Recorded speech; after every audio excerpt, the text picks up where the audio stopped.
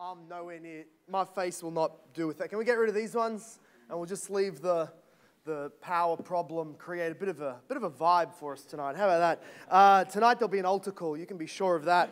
I will be uh, preaching about killing a very fat man and then making an altar call. Uh, uh it's not going to get emotional and soppy. Open up with me to the book of Judges. If you're visiting us, we're very glad you're here. Uh, you are welcome. Uh, you may not feel like this is a safe place tonight during this sermon and this sort of passage, but this is the best place. If you're an unbeliever, this is the best place for you to be because this is where God puts on display his glory in Jesus for sinners like you to be saved. Uh, then uh, this is a, uh, the best place for you to be, the most right and proper place for you to be. Uh, if you are here this morning, it's even better to be at church twice a Sunday. And so here we are in the Word of the Lord, and we're in the book of Judges. Now, for a little bit of context, uh, we've come to the book of Judges for uh, basically a, a, a death to pietism and a death to Gnosticism. That's our aim. And what is pietism? What is Gnosticism? I've had a few people grab me this week. I thought piety was good. Why do you hate pietism so much? Uh, piety is great. Piety means heart religion. It means an internalized spiritual religion where it's not just external acts of ceremony, but it is an internalized faith and love uh, and obedience and holiness before the Lord. Pietism is what says the only religion God wants and the only religion that this kingdom age really allows for is an internalized religion. So, uh, acts of outward boldness or, or, or, things that are more physical than seem spiritual, uh, we don't like that. We, we, want, we want Christians to have G rated lives and, uh, and, and, and quiet and basically toothless and clawless life. Don't be a danger to the enemy. Uh, be basically the kindest and nicest person you can be. But I tell you, if you memorize the catechisms and pray a lot and learn some of the original Greek, that's all God really requires of you. That's pietism. And it's actually a, veiled cowardice that finds itself able to sort of excuse its inactivity through holiness and through spiritualization and through self justification. And we say, when we read the fullness of Scripture and when we are familiar with history, which is ugly, Biblical history, we said this last week. Biblical history, history beyond the Bible, outside of the Bible, it is ferociously, gut churningly ugly. And if we are history deniers and we want to be, you know, uh, uh, peace loving, uh, uh G rated Christians, nothing like that happens in God's world. It, fosters, it creates a cowardice that fosters a softness in the minds, in the hearts, and then consequently in the mission of God's church. So, this is not uh, tonight's passage. You'll, uh, you'll uh, love it when we get there. This is not a call, uh, if you're unhappy with yesterday's election results, to hide a dagger and then go and visit your local parliament. Not, what, not the application. I'm saying that straight from the get go, not the application. Uh, starting a militia and taking down a Parliament House in Canberra, not the application, at least at this point in Australia's history. We've had, uh, we'll have, need some more degradation before that would ever be needed. moving on. But we're not calling for violence, we're calling for a reality about the fact that God has sanctioned violence in the past. You can't read your Bible and not be aware of that. God sanctions violence, commands violence. We quipped last week that the judgment upon the Israelites in this book is that they didn't kill enough of the original inhabitants. That's the premise of the book. They're under God's judgment because they didn't kill enough of the Canaanites, Amalekites, Amorites, and Moabites, and Perizzites, and so on and so on. That's the, the premise of the book. So, can you turn with me to Judges chapter 3? And we will be, we will be in verse 12 of this chapter. So far, uh, God has brought the promise, his people Israel, out of Egypt through the wilderness under Moses, then with Joshua, and he has taken them into the promised land, where with Joshua they were waging war and they were obtaining they were inheriting the promised portions of the promised land that was allotted to each tribe. This was good. This was a positive part of Joshua's ministry. It was going according to plan. They were winning battles and taking the land that was apportioned to them by God, setting up their family there, and telling them the stories of God's gracious redemption from Egypt, praising God, fulfilling the promises of Abraham. It's a good story. We get to the book of Judges, and the people have begun to forget the promises and forget the mighty acts and uh, works of God in the past. they fail in their faith and they doubt that God can really clear out the land before them.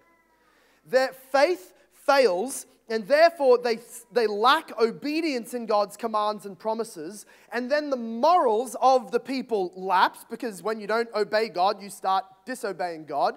And when people do that on a large scale, you get civil unrest, uh, you get civil social sin. This is called the West. Uh, when people disobey God en masse, uh, that's when politics and uh, society and civil level degradation kicks in.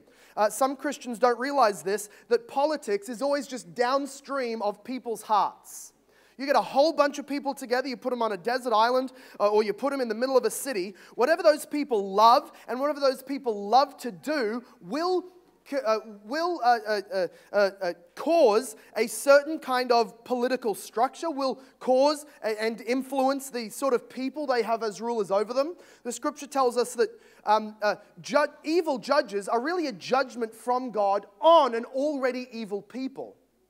Uh, so, for example, in the West, in Queensland, for example, there was no uh, military invasion that then forced upon the people of Queensland abortion up until birth laws. Men and women were fornicating, loving money and free sex, and wanted more freedom to kill their babies. Then the government gave them that opportunity because they already wanted it. There was no pushback. An enormous majority pushed it through. Why? Because civil, uh, social, cultural, political sin always happens on when there is individual lack of spirituality and piety.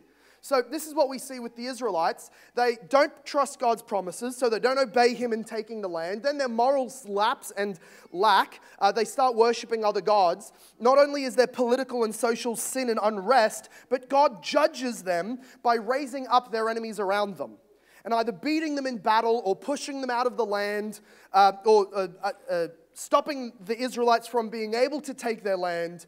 So their failure is in Judges chapter 1 and 2, in the beginning of 3. We're shown this introduction that because of their lack of faith and God's consequent judgment, they are unable to drive out the original inhabitants of the land.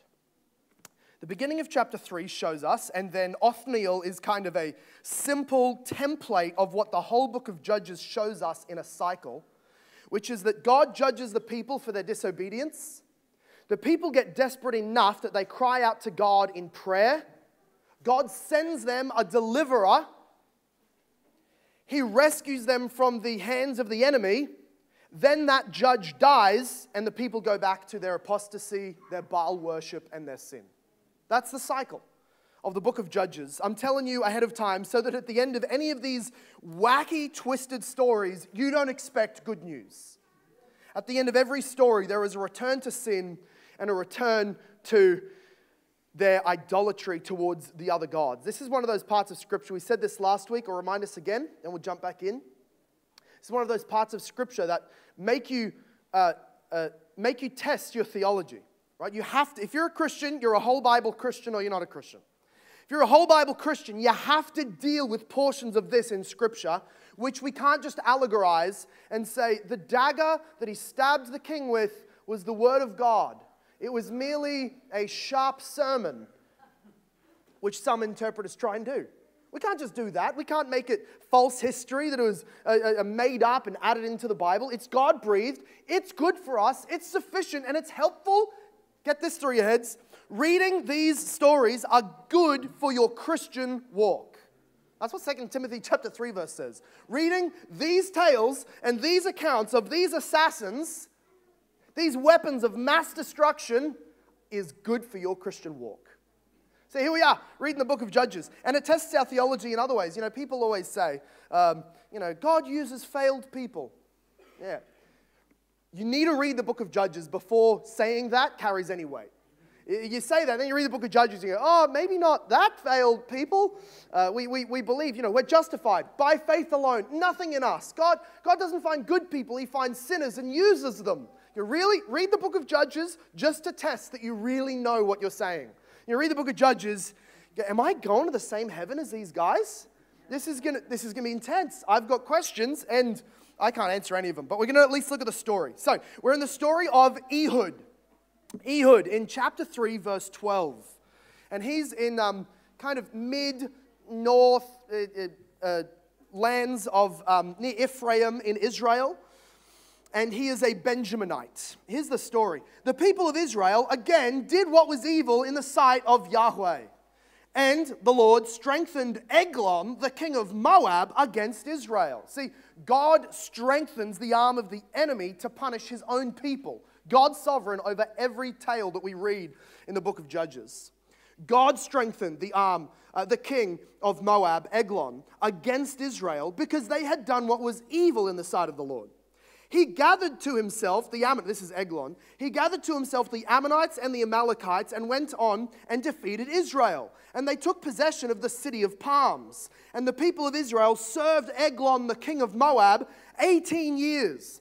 So King Eglon has established a, an alliance with some of the other tribes, the Canaanite, uh, sorry, the, the pagan tribes around Israel, and they have uh, surrounded Ephraim, pushed them out of the palms, uh, pushed them out of the plains, pushed them up into the mountains, and they've established themselves back in their cities and made a stronghold. And so 18 years, imagine this, 18 years since like 2006 or something, maybe that would be uh, 18 years. You've got teenage kids, they've known nothing but the oppression, the slavery, the heavy taxation of the Moabites.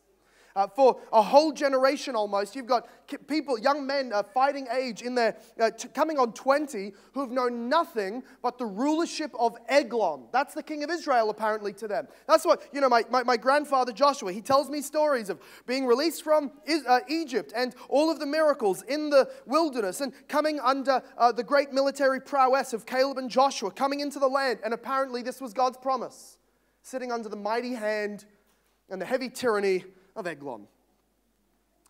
Verse 15 Then the people of Israel cried out to Yahweh, and the Lord raised up for them a deliverer, Ehud, the son of Gera, the Benjaminite, a left handed man. There you go. The people of Israel sent tribute by him to Eglon, the king of Moab. So here's the story Eglon is one of the uh, tributaries, guys who the, the Israelites would farm, they would gather their meat, they would bring in their grain, and they would have to set these huge portions aside to go to the Moabites as sort of their, uh, uh, their Danegeld, if you will, to go and pay off the king of Moab, please don't kill us all. But they would take, they would send those, uh, that tribute to King Eglon by a tribute party. And that party would go into the very presence of the king, present the tribute of uh, Ephraim or of Israel, and then uh, as it was accepted, then they would leave. And so for 18 years, this is probably going on. And historians and uh, uh, uh, scholars and commentators read the book of the, the, ch- the chapter about Ehud, the section here, and they say it's written like Hebrew comedy. There's phrases here and there, the way it's sort of told unnecessary details that weren't necessary are included into the story to make you chuckle a bit. And that's because this is a story of God winning. And it's a story of God winning over his enemies, making them losers. That's how that works. And it's the kind of story that not only makes it into scripture, but that was meant to be told around the campfires to all of the Israelite boys and girls. It's meant to be a story of joy and victory and triumph and a t- touch of humor. And uh, you get some weird details in here. First of all, he's a left handed guy. But also, there's this detail that for 18 years, the Israelites were back home wondering, strategizing, thinking, how are we ever going to get into the presence of the king? I don't know. Anyway, it's my turn to go and take tributes to the king in his office room. Then they would leave, go back home. I wonder how we'll ever get close to the king. For 18 years, this is going on. You've got Israelites in the throne room of the king oppressing them. It's hard to get that close. The, the Moabites are stupid. Who, let them change, give them to, to, to, to Moabite messengers on the door, leave the Israelites far away. What are they doing? Bringing their enemy subjects into the presence of the king, and he's a dude who can't defend himself. We'll get to that part of the story. This is a strange uh, tactic of the Moabites, and it's also strange and funny that though their salvation seemed obvious, God hadn't chosen to bring them salvation yet. And as soon as he did, there's just a light bulb went on. And Ehud's going, guys, guys, guys, wait, guys, I have an idea. I see him every Friday. I, I'm in his office. I'm one of his secretaries. I bring him his lunch. We have a million opportunities here to maybe rescue Israel. And so God raises up, very smart, very cunning, eventually, Ehud. Look at what it says uh, in verse 16. Ehud made for himself a sword with two edges. All right, so when uh, enemies of Israel overtake uh, them, they obviously, basically, they do a. a uh, I won't get political. They take away everybody's guns, right? They, they, they, they, they take away everybody's weapons. They disarm the populace because they're much more uh, uh, c- controllable. And so this is Ehud. He's basically your, your ex bikey uncle who's forging for himself a Glock in the bottom of the basement, right? That's what he's doing. So he's, he's forging himself a sword illegally uh, in, the, you know, in, the, in the hiddenness of darkness where the, the Moabite police uh, can't see him. He forges himself a double gauge, sorry, a double barrel, sorry, a double edged sword, right? So he's got a secret concealed weapon that he's forged for himself in secret, and he's going to go into the presence of the king. Now, they didn't have x rays back then, obviously. They didn't have uh, metal detectors. What they did was usually a simple uh, a check, a visible check, and may- maybe a frisk, maybe a touch up, make sure he doesn't have a, a spear under there somewhere or a large sword. But here's the thing being a left handed man meant he drew the sword with the opposite arm. His blade was always on his right thigh, which was almost completely unheard of in battle. Assassins, warriors, soldiers always had their blade on the, on the, on the left side of the soldier. So he would come up, they would check him, uh, no blade on his, on his leg. Uh, maybe they touched it, but he's been doing this for 18 years. They, they know Ehud's deal. They know that he's very docile and pacifistic and uh, compliant, and so they're going to let him through. So here's what he does he forges his own sword with two edges a cubit in length, that's about a, a, a, a foot, and he bound it on his right thigh under his clothes. Right? He's, he's concealed carrying here into the presence of the king. And he presented the tribute to Eglon, the king of Moab. Now, it kind of sounds like maybe he's making this up on his own, and this is sort of a lone actor uh, assassin. But as the story goes on, we see that he meets an army in hiding and marches back down and wins a victory. So, this is a well thought out conspiracy to kill the king. Uh, he goes on in verse 17. So, he presented the tribute to Eglon, the king of Moab. Now, Eglon was a very fat man. That detail is completely unnecessary in the story unless God wants us to have a chuckle at his enemies. That's literally why it's there. Zero detail needed. But he, not even that he was fat, he was a very fat man. Which maybe says um, that he was so, you know, it has an eye towards his prosperity. He's feeding himself on these tributes of the Israelites. And God says, and he's very fat. He doesn't say he's successful, he's powerful, he's, he's a, a, a, a victorious king. God calls him fat. Uh, if you don't want to get made fun of, don't pick a fight with God. That's basically how it works. So Ehud goes into his presence of this very fat man. And when Ehud had finished presenting the tribute, he sent away the people who carried the tribute. Verse 19. But he himself turned back at the idols near Gilgal, right? So he, he, he gives the tribute, signs the document, hands over to the king. He takes his men back uh, just outside of the city of Jericho, was Gilgal and near the idols there, this sounds like it was sort of a, a, a, planned, a plan in detail. So he goes back to the idols, exchanges some words. The other guys move on from Gilgal. He goes back into the city, and I love this. I love this piece of artful deception, uh, although it's truer than you realize. he turned back to the king and said, I have a secret message for you, O king. I have a word from you. And so, uh, uh, this secret message how gullible is this very fat man? I have a message for you. Oh, send all of my guards out quickly. I want to hear it. Oh, but it's secret. No one's allowed to be at the door. No worries. Get rid of everybody behind a locked door. I want to speak to the subject whose parents we killed, whose brothers we've massacred, and whose food we keep stealing. I'm sure it's a positive message. He has become stupid with his uh, uh, success. So he says, I have a secret message for you, O king. And he commanded silence, lifted up his scepter. Basically, all of his attendants went out of the room, out of his presence. That's so dumb. And Ehud came to him as he was sitting alone in his cool roof chamber. So he's all alone. They're up on the roof. He sent away his, you know, palm branch holders and his fanners and his grape feeders. He sent them all off the roof. He's watching a beautiful sunset. Ehud comes up to him. As he was alone uh, in his cool roof chamber. And Ehud said, This is the better line, I have a message from God for you. That's very true. He has a message from the true and living God, and it contained no words. It was a double edged sword which pierced very deeply. Look at what it happens. He says, I have a message from God from you. And he arose from his seat. He was excited to hear it. I love the detail there. And he arose from, like it's, it's included like it was a, quite an effort. And he had the dignity to spend a few minutes catching his breath, leaning forwards, maybe asked Ehud for, for a bit of a hand, and eventually he got to his feet, leaning on his, on his uh, uh, armchair hands, no doubt. And Ehud, uh, where are we? Uh, verse 21 And Ehud reached with his left hand, took the sword from his right thigh, and thrust it into his belly.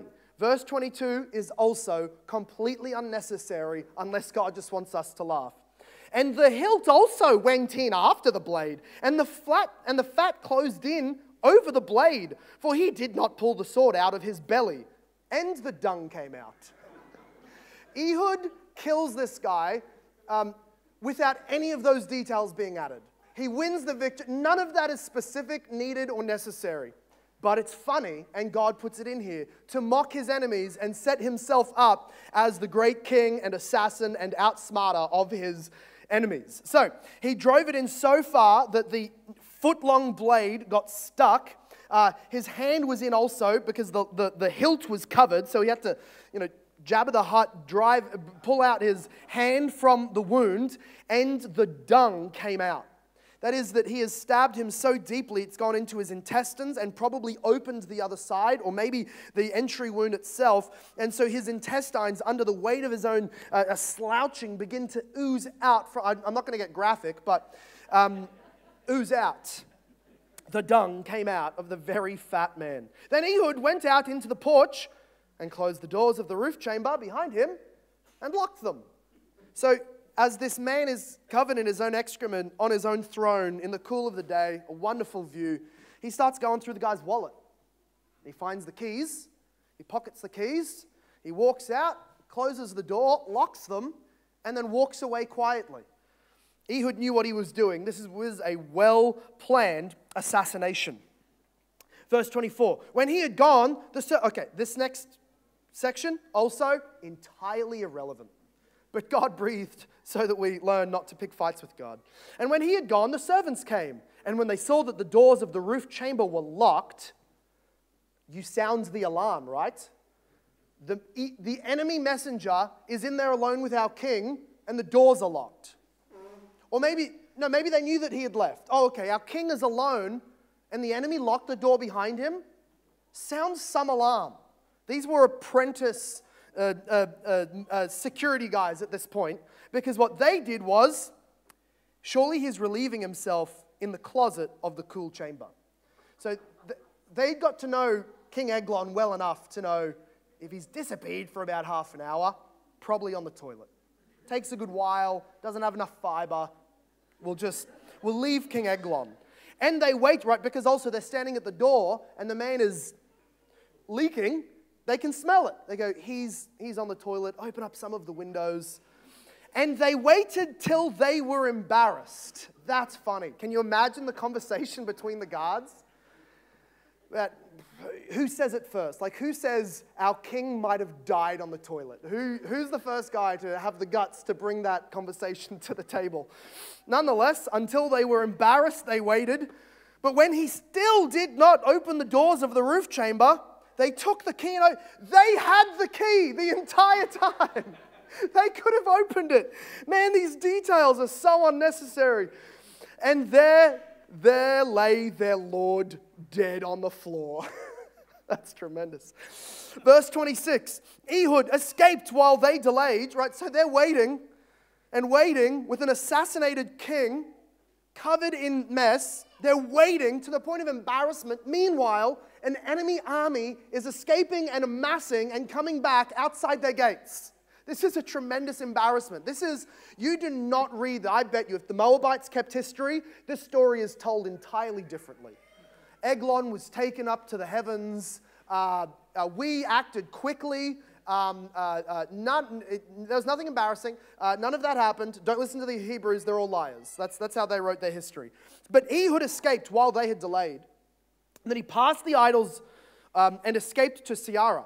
When he arrived, he sounded the trumpet in the hill country of Ephraim, and then the people of Israel went down with him from the hill country, and he was their leader. And he said to them, Follow after me, for the Lord has given your enemies, the Moabites, into your hand. So they went after him and seized the fords of the Jordan, that is, the, the, the riverines and the uh, uh, lakes they seized the fords of the Jordan against the Moabites and did not allow anyone to pass over. That is, they went and established a border along the Jordan River and ravines, and they stopped uh, the, the Moabites from being able to cross from the east across the Jordan River into their lands, into the Israelite God given lands. And, verse 29, they killed at that time about 10,000 of the Moabites, all strong, able bodied. It's so specific. They're not all fat. Some of them, the guys they killed on the war, in, in war, they were all strong, able bodied men. Not a man escaped. That is pretty ugly history. That is PTSD inducing history. These men, uh, war torn men, I think as we read sometimes like Sunday school, these stories that happen in the book of Judges and Old Testament history or New Testament history and what the Israelites must have witnessed, we sort of glance over like it happened and then they went and, and colored in pictures about it. These men would have been deeply traumatized, deeply affected. Mankind is not built to, to witness the bloodshed, especially of masses of image bearers of God before them, and not be deeply, deeply affected. But such is the effect of sin in the world, and such is the kind of events that God uses in history, and such is the effect of the Israelite sin. There was a whole new generation of Moabites to have to mow down now because the Israelite didn't do their job a generation ago. This is ugly history, but this is divinely controlled history. So, Moab, verse 30, was subdued that day under the hand of Israel. This is an amazing line. And the land had rest for 80 years. That is an enormous length of peace. The Moabites subdued in shame.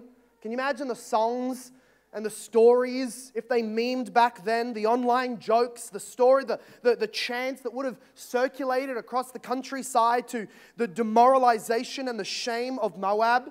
God says that's a good thing. Know, some people get a bit uncomfortable with mockery, probably the lies of Ehud, the deception at least. I have a word from God for you. Uh, the assassination. But back in verse 15, God called him a deliverer. It's the same word for savior. God said, I raised up a deliverer. And then evangelicals complain about his mean tweets and the sort of people he made fun of, and he didn't respect people's pronouns, and he could have been more compassionate. God said, You're missing what I did. I just raised up a deliverer. This is the, this is the, the, the, the good effect that I hope studying Judges has on us is wow, I complain a lot. Wow, I'm self righteous. Right? This is not, not attacked at, a, at our congregation, right? But, but I think we can all take something of this. I'm so self righteous. I read God's history. I'm worse than any of these guys, as far as I know. But I'm going to complain about the ickiness that reading this story gives to me. And evangelicals either avoid this sort of book or try and argue for it as an example of what not to do, but we can't get away from the fact that God raised up Eglon, God raised up Ehud, God ordained the instances, and God got praise and worship for the salvation that He wrought for Israel. There is great violence which comes to produce peace. We'd love it if basically chapter 3 was this the Israelites prayed. This is how a lot of pietists would read the book. Big Nico marker. They cross out everything from the end of verse 15 down to verse 30. It reads like this The Israelites prayed to the Lord, and the land had rest for 80 years. Because sometimes spiritual acts of obedience require, demand faithful physical acts of obedience. Many Christians are so afraid of this kind of idea. In fact, if you're a pacifist, like there's never an instance where God would want any Christian to be violent in any way. If you're a pacifist, you need to pick another religion.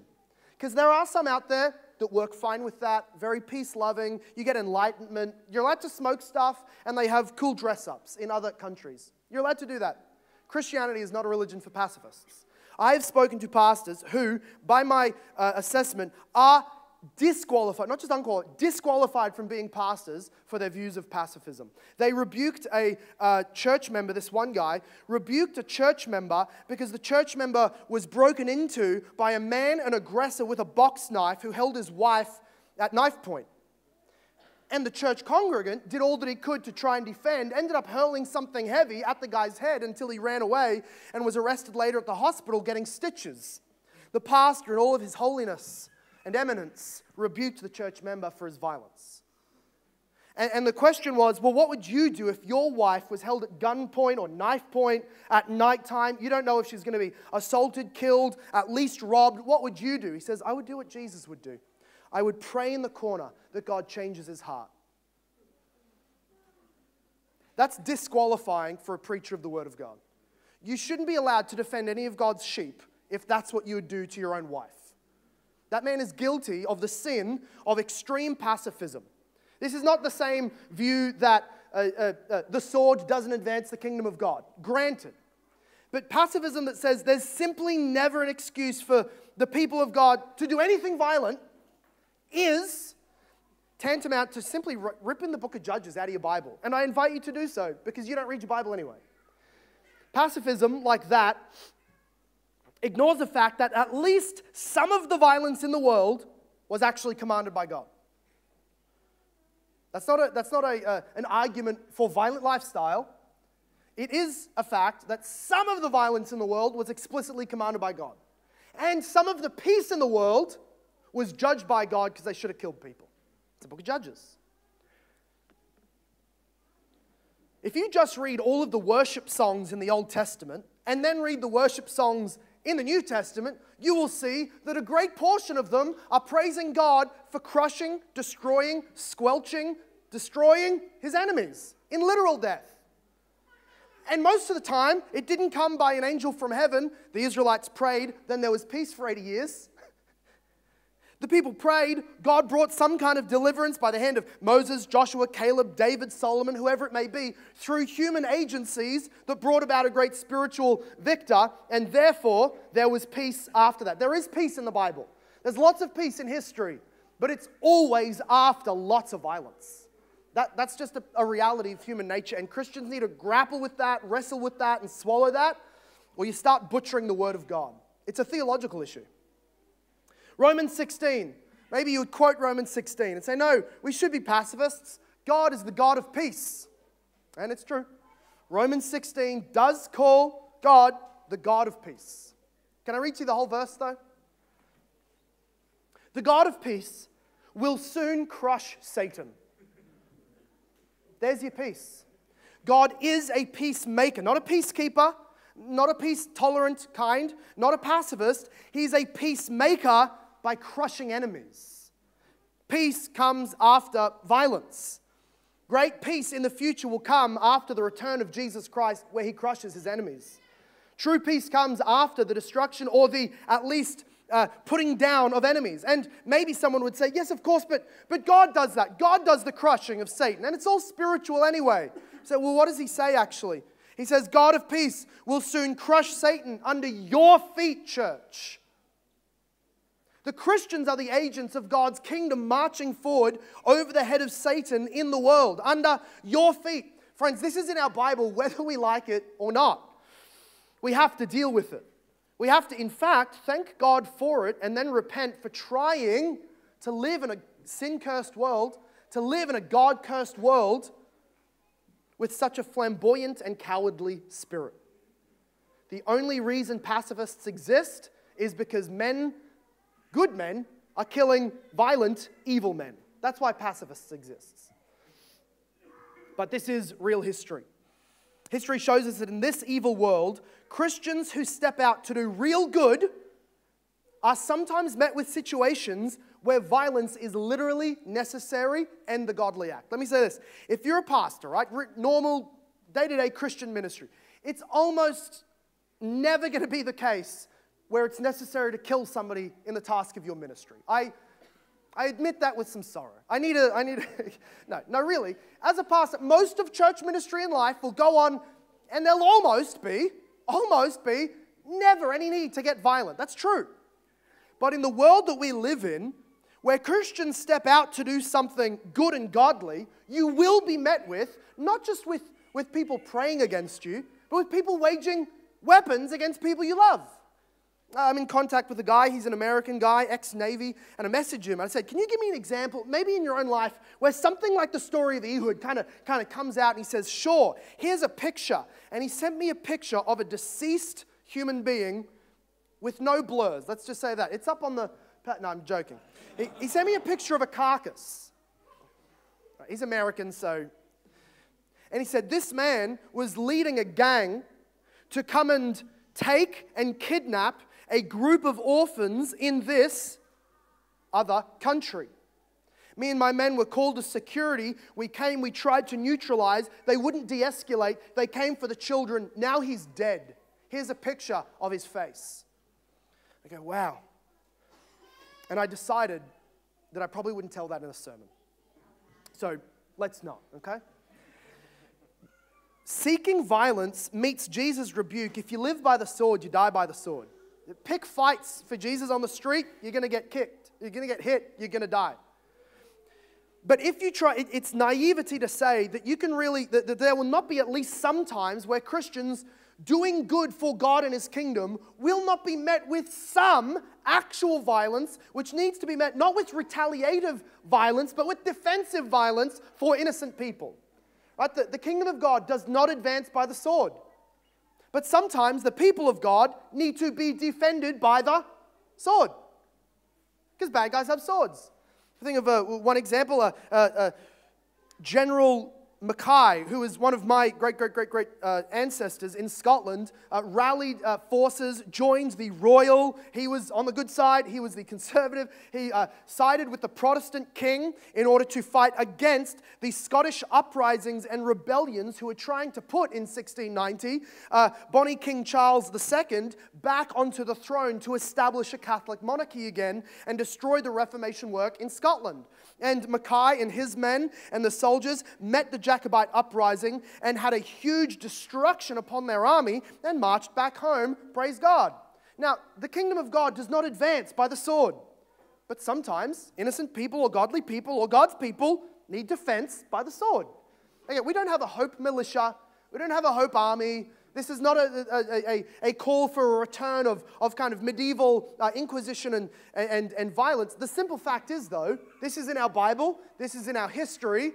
The only reason it's not in our present lives is because good men have died, giving us the peace that we enjoy. The Bible you read right now, in our language, came to us at the long line of bloodied men. Uh, John Knox uh, was, a, I mean, it's Reformation Day, so happy Reformation Day, everybody.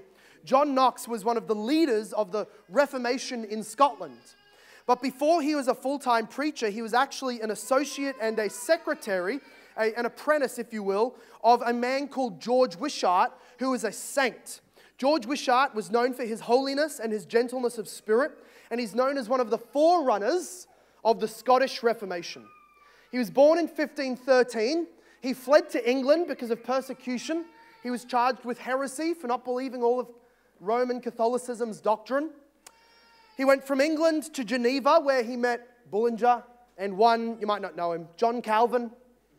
He learned how to preach the Bible line by line, and then he returned eventually to, to, uh, to Scotland, where he traveled the country preaching Romans verse by verse. There was a price on his head. He was chased out of the country for heresy. He returned illegally.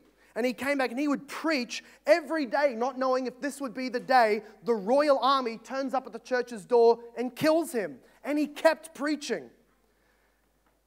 He preached and he preached, Cardinal Beaton was one of the Catholics in power, a cardinal in Scotland, and he said, I would prefer myself to walk to the very gates of hell than allow George Wishart to establish a stronghold of Protestantism on my doorstep.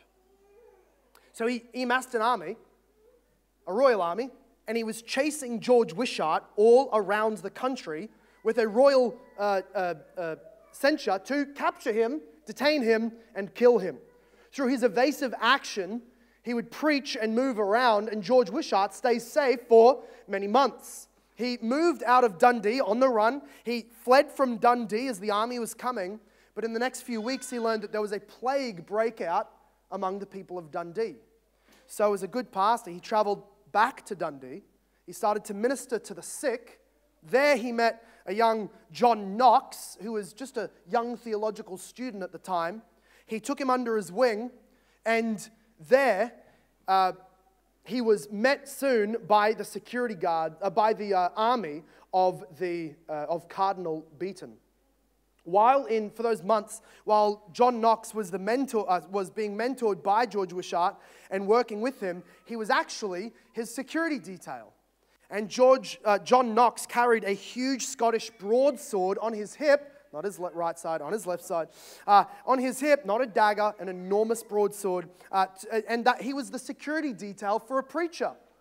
How many times would George Wishart maybe make it back into kids' devotional books about visiting the sick, and they'll conveniently leave out the part where his ministry protege had a broadsword on his hip? Eventually, though, under John Leslie and Deacon, uh, sorry, uh, sorry, under Cardinal Beaton, the Catholic, George Wishart was arrested. And as he was being taken away, John Knox raced to his aid to go along with him to make good on his vows of protection. And George Wishart said, Son, one is enough for a sacrifice. He was taken, and on the 1st of March 1546, after a mock trial, he was burned alive at the stake in front of many people. The Protestant response was not mild. The Protestant response was equally savage. At dawn on the 29th of May, 1546, a group of Protestant lords from Fife entered St. Andrew's Castle pretending to be stonemasons. This is Ocean's Eleven kind of material. They've got their, uh, uh, you know, plasterboarding. They're, they're, they're, they're, uh, they're, maintenance workers. They've got their fake mustache on. They've got the jumpsuits with, you know, St. Andrew's uh, uh, maintenance crew. Uh, and they've got, they've got weapons hidden on the trolley. This is what it looks like. They come in under subterfuge as secret assassins into the castle. They enter. They find the cardinal. They drag him out of his bedchamber they stab him to death in public, then they hung him from a castle window in full view of the entire town. St. Andrews then became an, a gathering place for Protestants from all over the country, including John Knox, who rightly argued that that was assassination, murder, illegal, and a sin before God. He made them repent. But if we knew a little bit more of their day, I mean, criticism is easy from a 20,000 foot view. They were men of their times, and that's not an excuse, but it meant they saw their times very honestly.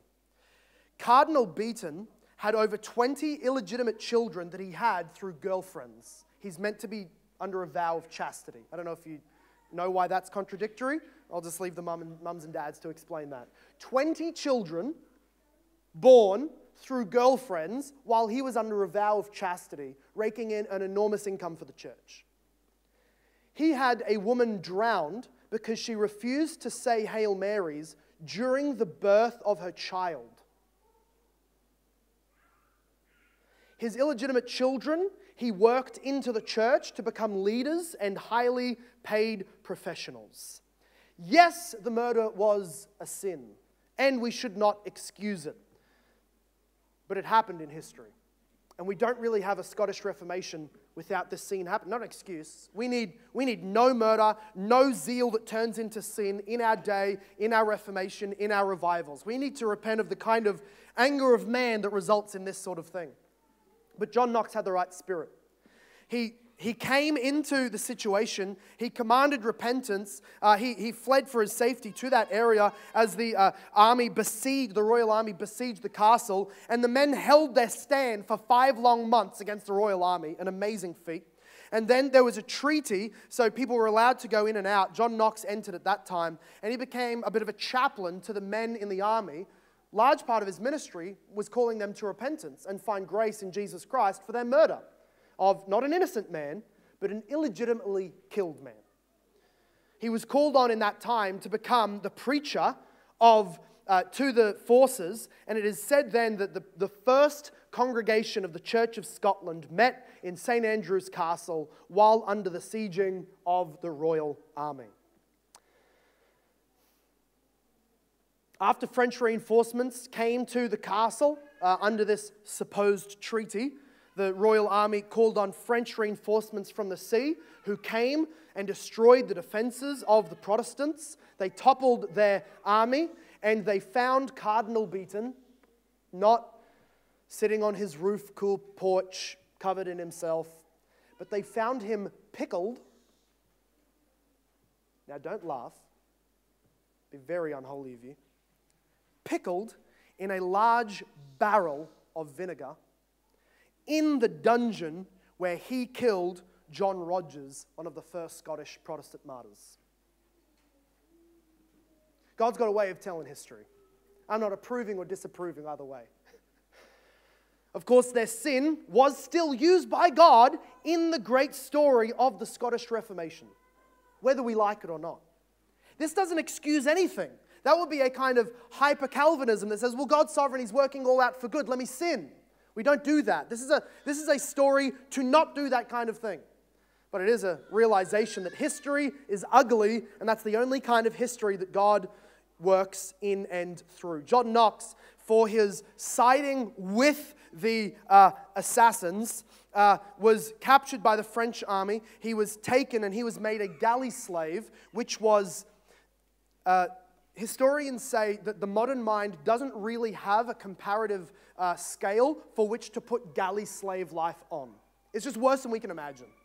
And they were in the low parts of the ships, rowing back and forth across the English and French Channel. And uh, that was his life for 19 months. But his faith did not waver. In that time, he would uh, continually pray. At one point, it says that the, the soldiers uh, were passing around a little idol of Mary, making the, the prisoners and the galley slaves kiss it and pray to it. And John Knox politely said, That's an accursed image of Satan. I don't want to worship it. Very reasonable for a man in the galleys, I think. And they shoved it in between his hands and tried to push his hands towards his face to kiss it. And so he said, Into the river with the lady. And threw, that was Irish, I know. And threw her overboard into the waters where she sunk, and he was treated brutally in punishment for his obedience to God. Throwing an idol over ship, overboard, is obedience to God. And then eventually he would be released. He goes back to Scotland. He is used as a reformer in the Church of Scotland. He does not commit the heinous crimes of his predecessors, but like George Wishart, is meek, mild, but bold and strong in the cause of the Reformation. And continually, he often had his own security detail to protect him against the armies of the Royal Catholics. This is our history. Look at Shamgar. Shamgar in verse 31. There's only one verse, but he's another weapon. If, if Ehud is a weapon of mass destruction because the thing he destroyed was massive, Shamgar is a weapon of mass destruction because his weapon kills an enormous army uh, against one man. There's a lot of unanswered questions about Shamgar. Uh, did he do it himself? Did he raise up a farmer militia? Uh, did he uh, do this all in one day? Was it guerrilla warfare? We don't know. But look what happened. After Ehud was Shamgar, the son of Anath, who killed 600 of the Philistines with an ox goad, and he also saved Israel. An ox goad. What's an ox goad? Um, Shamgar just seems like every teenage boy. He just picks up something and goes, How could I kill people with this? And so an ox goad was a large stick with a pointed end, uh, which you, you know, you'd have the plow on the, on the cows, and if they were veering, you would poke them with this huge, long ox goad. So he picks up his, his uh, uh, uh, farming implement and he goes to town on the Philistines and kills 600 of them with this likely eight foot, right, almost three meter long uh, ox goad with a pointy end. It's, you know, the old version of a cattle prod. Well, in the book, this is, this is the, the story of the book of Judges. Unlikely heroes with unlikely weapons. A woman kills a king with a tent peg. Samson kills armies with a jawbone. Uh, Ehud kills uh, this king with a left handed sword. Uh, and here's uh, Shamgar with a cattle prod, with an enormous ox goad. So, how does this apply to us today? I have no more comment on Shamgar. There's not a lot to comment on. It happened. So here's the questions we've been asking as we're going through the, the book is what happened? What actually happened? Give us a real view of history so it's not all powdered and, and made up and soft. So we've done that, I think. We've traveled through the real history. Our second question is Is there any application for us today? Because 2 Timothy 3 says there should be. Thirdly, we'll ask How does this move forward God's story of redemption? And fourthly, how does this point us to Jesus and all of its mess? And these last three are very quick answers. Here's our application for today don't live for people's approval, especially the people who live in your generation. Don't live for people's approval, live for God's, and then do whatever is necessary and righteous in His cause. Not what is pragmatic, but what is righteous. Don't don't fear doing something because if the people of your day will blog about it and say you weren't overly nice. Don't commit sin because the people in your tribe will applaud it and not call you out for it. Live for the approval of God and God alone, and do what is righteous and whatever is necessary in the cause that God puts in front of you. It seems to me that the Reformed Church is filled with people that the Reformation would never have happened under. The Reformed Church is filled with people that would have had nothing to do with the Reformation when it was actually happening because it was way too real, unpietist, unpietist, and sometimes just ugly. Leonard Ravenhill says this Ah, brother preachers, he writes, we love the old saints. We love the missionaries, the martyrs, the reformers our Luthers, our Bunyans, our Wesleys, our Asburys, etc. We will write their biographies, reverence their memories, frame their epitaphs, and build their cenotaphs. We will do anything except imitate them. We will do anything except imitate them. We cherish to the last drop the stories of their blood while we watch the first drop of our own. Don't live for the approval of people in your day. You will be entirely and absolutely forgotten as a pacifist in God's army. Don't do that. On second, uh, on uh, second point of application, we ought to be a church that is not known on earth. That's not our aim. That is not our goal or dream at all. Shamgar gets one verse here. We don't know much about him. The Philistines probably have more of him in their history than we do in our Bible. Because he wreaked havoc on the Philistines. Don't try to be a church that is well known on earth. Aim to be, Leonard Ravenhill used to say, a church that is well known in hell. Who cares if the bloggers and the denominations and the groups and the, the, the lobbyists and the politicians have any clue you exist?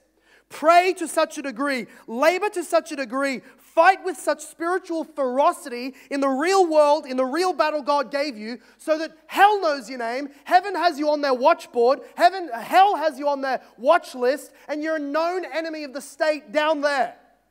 Live to be known by them. Prophets sometimes have miracles, they always have holy unction. That's Ravenhill again. Sometimes they have miracles, but they always have unction that stands bold to earthly powers. We may get one verse or less or nothing of memory in history about you and I and the Lord's work here, but let us be well feared by God's grace in hell and our souls counted in heaven.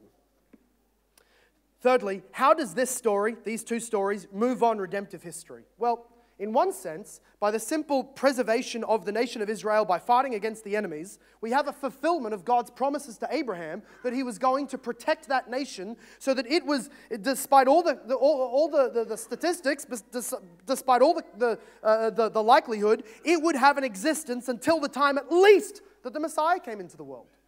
And here we see God fulfilling those promises to Abraham. But it also moves forward redemptive history in this way it shows us that physical and political rescue is never enough. Bravery, physical courage is needed, it's never enough. It's never enough. Storming the castle and killing the cardinal politically seemed needed. They delivered the Protestants. It wasn't enough, it wasn't righteous. Ehud killing the king, Shamgar delivering them from the Philistines. It was good, it was never enough the Israelites apostatized again by the end of the story. The snakes that are crushed are just little foot soldiers. The great serpent still rears his ugly head again. You can beat politicians, you can get new MPs in, you can vote in new presidents, wait for kings to die and their more righteous sons come along, you can fight wars, you can wish for new princes, but they cannot save or be God's agent of ultimate redemption. That's what this story screams out at us. So, lastly, how does this point us to Jesus? We see that we need Jesus, who crushes the head of the serpent, Satan, under his feet on the cross and in his resurrection. Jesus then, through history, crumples every other king and kingdom who doesn't pay him homage. And there's no chance of toppling him like the fat king of the Moabites. He stands unapproachable and glorious in his kingly rule. Jesus brings salvation and controls history. So that the New Testament tells us of his salvation that he has wrought for the new Israel, the people of God. Titus 3, verse 4 and onward says, When the goodness and loving kindness of God our Savior appeared, he saved us. The same language from the book of Judges. He saved us, not because of works done by us in righteousness, but according to his own mercy, by the washing of regeneration and renewal of the Holy Spirit whom he poured out on us richly through Jesus Christ our Savior, so that being justified by his grace, we might become heirs according to the hope of eternal life. This saying is trustworthy, and I want you to insist on these things, so that those who have believed in God may be careful to devote themselves to good works. These things are excellent and profitable for people. Jesus changes our hearts and makes us righteous and purifies us and forgives us by His grace. He died for our sins and He washes us and makes us new so that we don't return back to our idolatry and sin. And He stands at the head of history, controlling everything for the glory of His Father and for the good of His people. The first time He did not come and king, uh, kill, assassinate, or wage war against earthly powers. He died in meekness, in embarrassment, and in shame to pay for our sins. But the next time he comes, he's coming to stomp heads of enemies, Revelation tells us. He comes to make a tidal wave of blood through the earth. He comes to bring judgment, and the second time he comes back, he's bringing none of his own blood to pay for sin. That's done. He's bringing back wrath to put down his enemies and then usher his children into the new world. My question for you is this Have you made peace with this Jesus Christ, the great judge? You can today. You must today. Believe in him. Know your sin to be vile, but believe in him for forgiveness. Let's pray.